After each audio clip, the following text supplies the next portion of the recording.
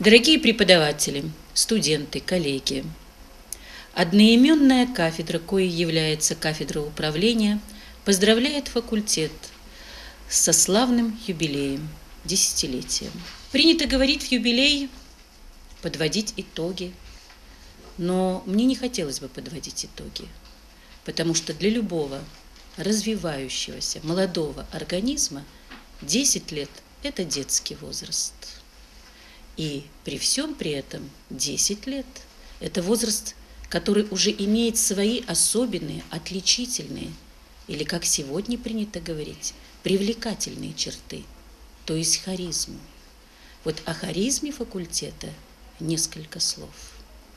В чем привлекательность факультета управления сегодня? Бесспорно, все утверждают, что на факультете управления учатся лучшие студенты – Конечно, к нам приходят лучшие абитуриенты, которые становятся лучшими студентами, поскольку на факультете работают лучшие преподаватели.